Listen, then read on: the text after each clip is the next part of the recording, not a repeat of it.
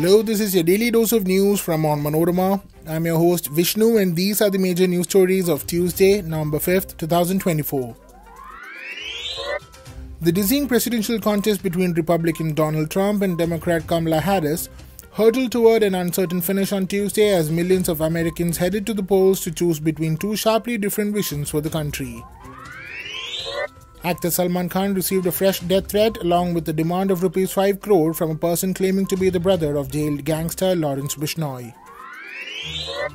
In a significant ruling, the Supreme Court upheld the constitutional validity of the Uttar Pradesh Board of Madrasa Education Act 2004, overturning the earlier judgment by the Allahabad High Court that invalidated the act. Israel's military issued new evacuation orders in the north of the Gaza Strip on Tuesday after carrying out strikes across the enclave, which killed at least 30 people.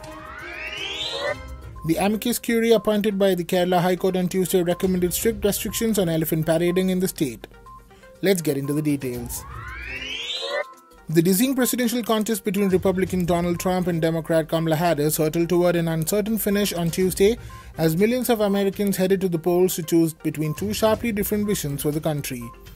A race whipsawed by unprecedented events, two assassination attempts against Trump, President Joe Biden's surprise withdrawal, and Harris's rapid rise, remained too close to call even after billions of dollars in spending and months of frenetic campaigning.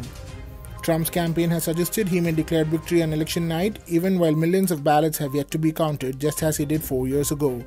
The former president has repeatedly said any defeat could only stem from widespread fraud, echoing his false claims from 2020. The winner may not be known for days if the margins in key states are as slim as expected. No matter who wins the White House, history will be made. Harris, the first female vice president, would become the first woman, black woman, and South Asian American to win the presidency. Trump, the only president to be impeached twice and the first former president to be criminally convicted, would also become the first president to win non consecutive terms in more than a century. Opinion polls in the campaign's final days have shown the candidates running neck and neck in each of the seven states likely to determine the winner. Arizona, Georgia, Michigan, Nevada, North Carolina, Pennsylvania, and Wisconsin. The contest reflects a deeply polarized nation whose divisions have only grown starker during a fiercely competitive race. Trump has employed increasingly dark and apocalyptic rhetoric on the campaign trail, while Harris has warned that a second Trump term would threaten the very underpinnings of American democracy. Actor Salman Khan received a fresh threat along with the demand of rupees 5 crore from a person claiming to be brother of jail gangster Lawrence Bishnoi, officials said on Tuesday. The threat message, which also asked Khan to apologize apparently over an alleged black buck poaching incident, was received at the Mumbai Traffic Police Control Room located in Worli area late Monday night, an official said. The message sender claimed he is brother of gangster Lawrence Bishnoi, the police official said. If Salman Khan wants to stay alive, he should go to our Bishnoi community temple and apologize or pay rupees 5 crore. If he does not do so, we will kill him. Our gang is still active, the message said. Police are probing the origin of the threat message and have beefed up security measures for Salman Khan, sources said. The police are also checking if the message is linked to Lawrence Bishnoi, who was lodged at the Sabarmati jail in Gujarat on various charges, including attempted murder and extortion, they added. Khan has earlier also received threats along with the demand for money. In a significant ruling, the Supreme Court upheld the constitutional validity of the Uttar Pradesh Board of Madrasa Education Act 2004 on Tuesday, the court overturned the earlier judgment by the Allahabad High Court that had invalidated the act. However, the court also ruled that the act's provisions regulating higher education degrees such as Fazil and Kamil conflict with the University Grants Commission Act and are therefore unconstitutional.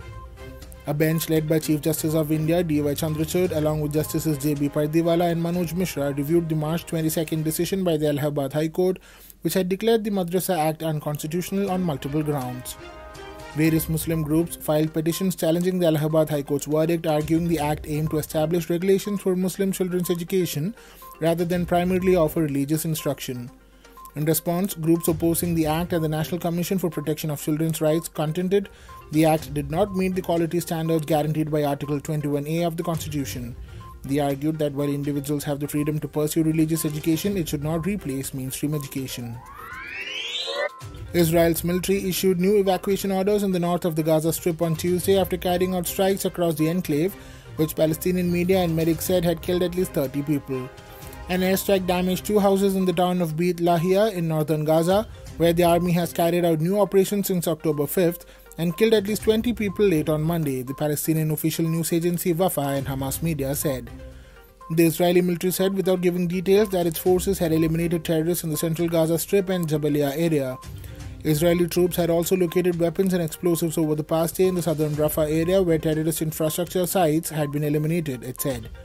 Later on Tuesday, Israeli planes dropped leaflets over Beit Lahia, ordering residents who have not yet left their homes and shelters housing displaced families to quit the town completely.